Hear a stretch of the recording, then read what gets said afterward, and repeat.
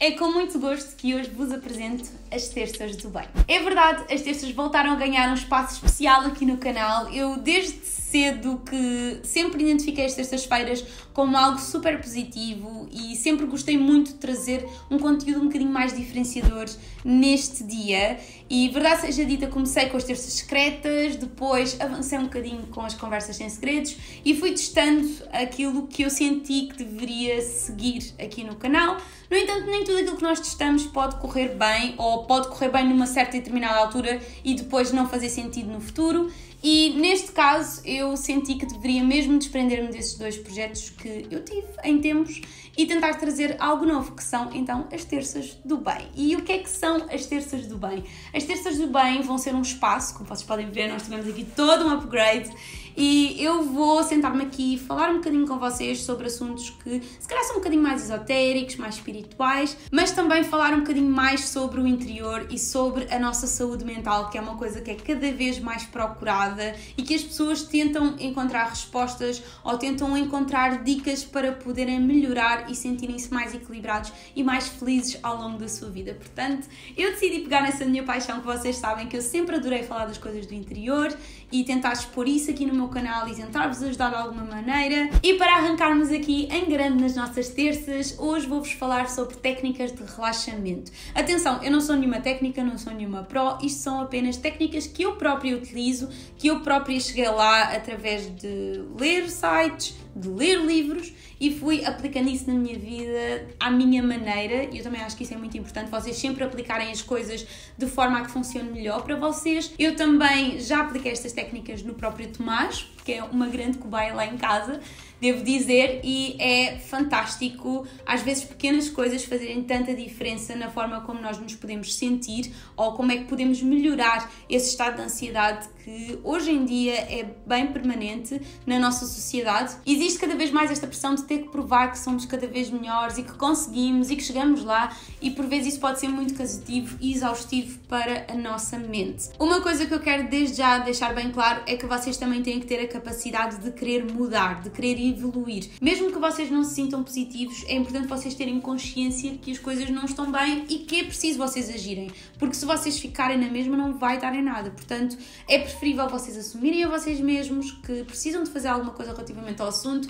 e acreditem, tudo o que passa por ansiedade, por estados em que nós nos sentimos mais estressados, mais oprimidos, diria, é importante vocês terem essa consciência para poder mudar alguma coisa. Por isso é bom quando nós sentimos essas nuvenzinhas cinzentas que tentemos recuperar a partir do momento que elas aparecem e não apenas deixar passar ao ponto de se tornar uma tempestade. Portanto, Aqui vou mostrar as minhas ferramentas, obviamente que isto vai diferir muito pessoa para pessoa, de gosto para gosto, mas eu espero que vocês gostem e que vos consiga ajudar acima de tudo, que é esse o objetivo deste novo segmento. E é claro, se vocês gostaram desta nova ideia, deixem desde já o vosso grande gosto, subscrevam ao canal, porque sim, eu vou tentar trazer todas as terças-feiras aqui este segmento das terças do bem e obviamente que é importante para mim saber o vosso feedback e perceber desse lado se faz sentido para vocês avançar então com este segmento. A nível sensorial, eu tenho consciência que há duas coisas que realmente me ajudam muito, que é a nível olfativo, eu sou muito boa a nível de cheiros, e outra coisa é a nível da minha audição. Eu também sinto que a música, o som é algo que realmente me relaxa e me traz alguma paz. Portanto, eu tento sempre ativar esses dois campos sensoriais quando estou a tentar relaxar. E isso pode ser um ponto muito importante para vocês perceberem como é que podem relaxar de uma forma mais eficaz. Imaginem, se vocês forem pessoas mais visuais e terem consciência de que verem alguma coisa vos vai relaxar, podem utilizar a visão em vez do olfato ou a audição, como eu já tinha referido no meu caso, que também resulta muito bem. Por isso é tudo uma questão de vocês adaptarem estes métodos. E vou então começar por falar de cheiros, sobre o nosso nariz. O que é que eu utilizo para me relaxar a nível olfativo? E isto é provavelmente o que eu mais utilizo no meu dia a dia, seja no meu espaço de trabalho, seja em casa. Eu sinto que os cheiros ajudam mesmo muito também a decifrar quando é que é para trabalhar e quando é que é para descansar, que também é super importante para vos ajudar a canalizar melhor os vossos métodos. Então, o que é que eu costumo utilizar aqui quando estou no estúdio? Eu utilizo este incenso, que é um incenso assim em bagas, eu diria. Eu não sei muito bem se existe um nome específico, mas Este cheirinho é um cheirinho muito mais amadeirado do que o cheiro que eu utilizo em casa e eu utilizo um método também diferente para que vocês entendam como funciona. Vocês têm estes queimadores super bonitinhos, vocês conseguem encontrar em vários sítios. Este, neste caso, eu até comprei aqui numa loja perto e ele é muito bonitinho, é assim verdinho. E aquilo que eu faço é então colocar estas tais bagas que eu falei e acendo com o isqueiro e elas ficam aqui a queimar. Eu normalmente coloco duas para ficar um bocadinho mais intenso e o que acontece é que existem aqui perfurações em torno da tampa e o fumo vai saindo por aqui e libertando um cheirinho muito agradável. Este cheirinho mais amadeirado eu sinto que desperta este sentimento mais de concentração, de estar mais compenetrada no meu trabalho, de ser mais eficiente também e por isso é que eu gosto muito deste cheiro quando estou aqui no estúdio. É uma coisa que eu já consegui identificar e que ao longo dos tempos, quando vocês começarem a apurar também um bocadinho mais este sentido, vocês começam a perceber o que é que funciona melhor. Uma coisa que eu também aplico, não só aqui no estúdio, mas também em casa, são velas. Mas lá está, como eu já tinha referido, utilizo cheiros diferentes. Eu aqui no estúdio costumo comprar estas da Primark que são ótimas, que são as Soft Cashmere e elas são assim verdinhas, vêm assim neste potezinho. E as que eu compro lá para casa são normalmente cheiros mais frutados. E aqui no estúdio, seja incenso, seja velas, tento sempre ir para cheiros um bocadinho mais fortes, mais intensos, que me ajudem a despertar também aqui o meu cérebrozito para trabalhar de uma forma mais eficiente. Em casa, eu trouxe aqui este exemplo, por acaso não trouxe as velas que tenho em casa, mas eu acho que vocês facilmente entendem. Normalmente são aquelas velinhas brancas do IKEA que cheiram muito bem, que são dentro da onda da baunilha, que lá está, um, um cheirinho assim mais doce, um cheirinho mais aconchegante, na minha opinião. E também utilizo este tipo de incenso, que são estes incensos em pauzinho. Eu neste momento estou a utilizar este que é o Três Poderes Fortuna, Proteção e Sabedoria. E este aqui eu até comprei uh, na Natura eles são maravilhosos. E uma coisa super importante é vocês saberem que tipo de incenso estão a comprar. Não comprem incensos muito à base de químicos. Leiam sempre também um bocadinho os rótulos, percebam o que é que vem aqui dentro, porque muitas das vezes alguns dos incensos que vocês encontram assim em pauzinhos vêm cheios de químicos, o que não é ótimo, obviamente, nem para vocês, nem para a saúde dos vossos animais e das vossas plantas. Portanto, tenham sempre isso em consideração. Tentem encontrar o mais natural possível. E neste caso, eu tenho este suporte que é lindinho, lindinho, lindinho. Eu, por acaso não o comprei na Natura, comprei aqui também perto de casa e eu sinto que tem tudo a ver comigo, assim com as luas e com as estrelas, nesta madeira super bonita. Eu vou ser aquela pessoa que vou mesmo aconselhar-vos a ser um bocadinho mais extra e tentarem, ao mesmo tempo que estão a sentir o cheirinho, o aroma do incenso, que vocês apliquem então a audição ao mesmo tempo. Os dois sensores a funcionar ao mesmo tempo resulta muito bem para mim. E aquilo que eu faço é ir à lista de Spotify, existe mesmo uma lista, aliás, várias, que vocês têm sons do oceano, sons da natureza. Eu normalmente adormeço muito fácil com os sons da natureza e com o cheirinho de incenso à mistura. E é uma coisa que vocês podem até pré-definir, se vocês querem que fique a tocar durante uma hora, durante duas, é uma questão de vocês definirem isso na aplicação. Uma coisa que também dá para fazer é vocês automaticamente também, a partir do momento que a playlist acaba, o som também termina. Acreditem, por experiência própria, eu recomendo sempre que vocês ponham o som bem baixinho, porque a ideia não é que vocês se foquem nos sons que vocês estão a ouvir, mas sim que eles vos relaxem e que vos ajudem a sair daquela zona de pensamento por vezes tóxico que vos prende a não adormecer. E vocês vão perceber que realmente ajuda muito a que vocês consigam relaxar, a que vocês consigam estar mais livres e mais aptos a soltarem-se daquilo que vos prende tanto no vosso dia a dia, seja do vosso pensamento, seja de algumas coisas chatas que aconteceram naquele dia e vocês vão sentir grandes melhorias no vosso sono. Acreditem, eu comecei a aplicar isto não só em mim, mas também no Tomás quando ele vinha mais nervoso ou mais estressado do trabalho e realmente eu senti que ele em 20 minutos adormecia e já não pensava sobre o assunto. E no dia a seguir vocês sentem mesmo, vocês pensam dia novo, dia mais leve, bola para a frente, vamos seguir.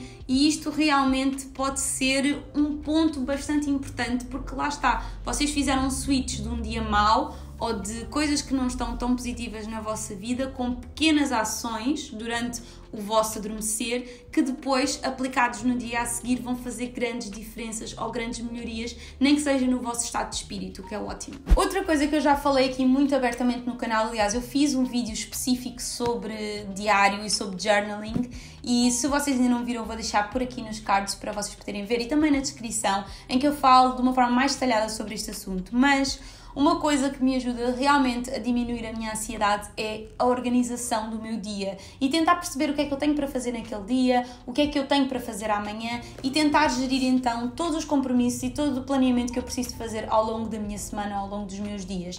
E isso vai ajudar-vos a organizar o vosso pensamento, não só a nível daquilo que vocês têm para fazer, mas também daquilo que vocês querem no vosso futuro, daquilo que vocês pensam sobre vocês. E este exercício, por vezes, é assim um bocadinho overrated, tipo, para que perder tempo a pensar naquilo que eu quero fazer amanhã, ou no meu estado de espírito, ou quais são as coisas que eu mais gosto em mim ou que menos gosto em mim, mas a verdade é que se vocês tiverem bem definido aquilo que vocês são, aquilo que vocês querem ser, ou então aquilo que vos faz ser pessoas especiais, ser especiais, iluminados de uma maneira diferente como nenhuma outra pessoa é neste mundo, ajuda-vos sinceramente a melhorar a vossa autoestima, a vocês levarem a vida de uma forma mais leve e a também sentirem-se mais equilibrados, que é esse o grande objetivo.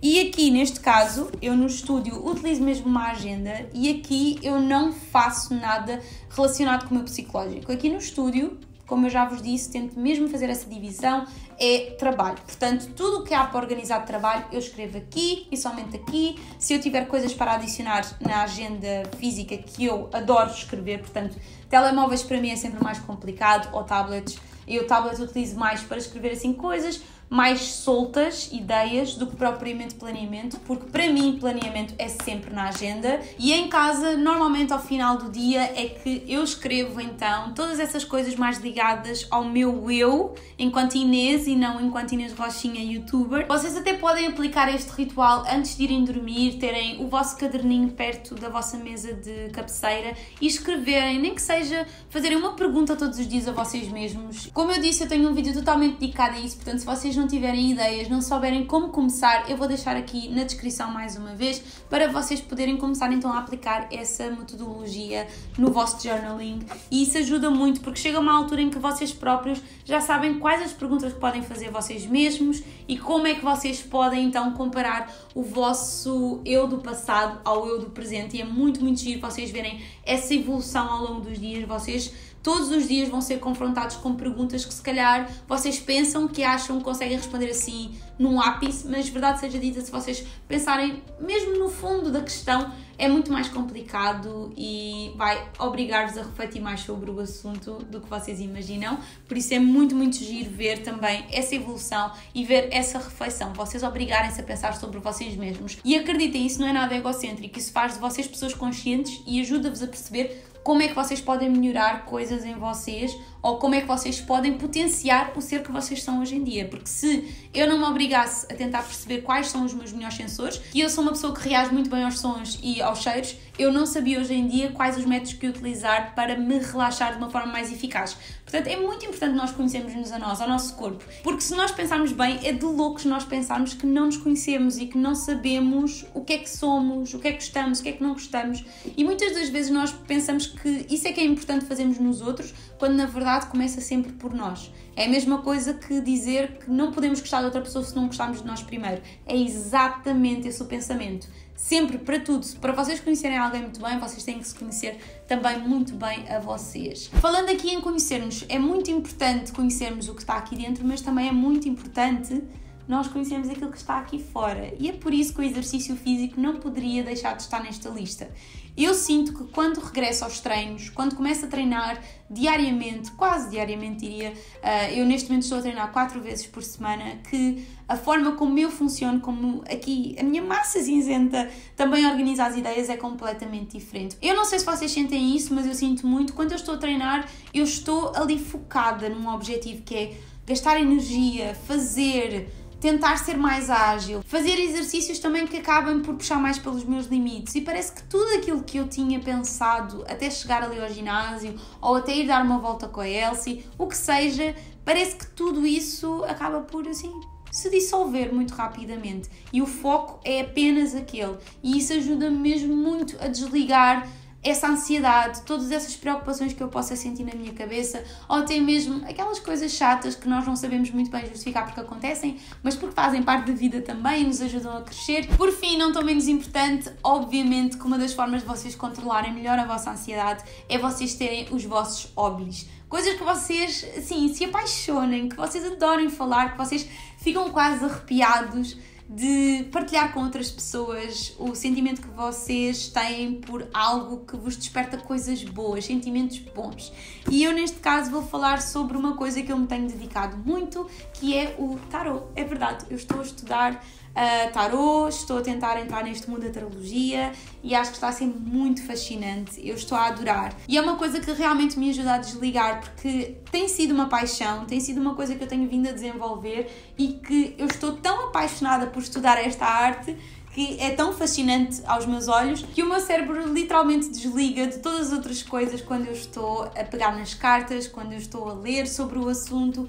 Por isso, vocês terem um hobby ou terem algo que vos fascina, que vos apaixona, para além do vosso trabalho, para além do vosso cotidiano, uma coisa que seja apenas só vossa, que vocês possam partilhar com outras pessoas, mas que seja o vosso momento todos os dias, é muito, muito bom. E isto são coisas que vão variando ao longo da vossa vida. Obviamente podem ser hobbies que neste momento façam todo o sentido e que vos apaixonem, como pode daqui a meses ser outra coisa que eu esteja a fazer ou outra coisa que eu esteja a estudar e que esteja já a complementar o tarot na minha vida e no meu cotidiano. Portanto, é vocês pegarem e terem também curiosidade e terem vontade de aprender coisas novas e de fazer coisas novas que realmente vos possam apaixonar ou que já vos apaixonam e vocês querem conhecer mais sobre essa área. Bem, pessoal, e este foi o nosso primeiro episódio das Terças do Bem. Eu espero que não tenha sido assim muito intenso, mas verdade seja dita, é um tópico que eu, por exemplo, gostaria muito de ter trazido mais cedo aqui ao canal, mas não sabia muito bem como começar ou com que motivo falar sobre este assunto e acho que as terças do bem vieram aqui fazer assim uma boa jogada. A Rochita gostou muito de estar aqui com vocês num ambiente, num mood mais descontraído e poder falar destas coisas que me apaixonou. Meu Deus, estou arrepiada, mas a verdade seja dita é que é uma coisa que me apaixona tanto que às vezes parece que nós temos medo de mostrar ao mundo que gostamos tanto destas coisas que nos apaixonam por serem coisas tão especiais para nós. E eu sinto que foi por isso que se calhar demorei tanto tempo a tomar esta decisão, mas é realmente uma coisa que eu quero muito fazer aqui no YouTube. Quero trazer-vos este lado da Inês, que vocês provavelmente já podem ter assim uns glimpses, assim uns cheirinhos, uns pozinhos de outros vídeos que eu já lancei, mas ter aqui um conteúdo que seja dedicado totalmente àquilo que me vai aqui dentro e àquilo que eu pessoalmente sinto é muito importante para mim e eu espero que seja uma forma de nós também nos conectarmos e de sermos cada vez mais transparentes e mais unidos uns com os outros. Por isso, eu espero que vocês tenham gostado deste vídeo. Se gostaram, obviamente, deixem já o vosso grande gosto. Partilhem com alguém que possa precisar destes conselhos, destas dicas. E, é claro, vemo-nos então no próximo vídeo. Beijinhos! Tchau!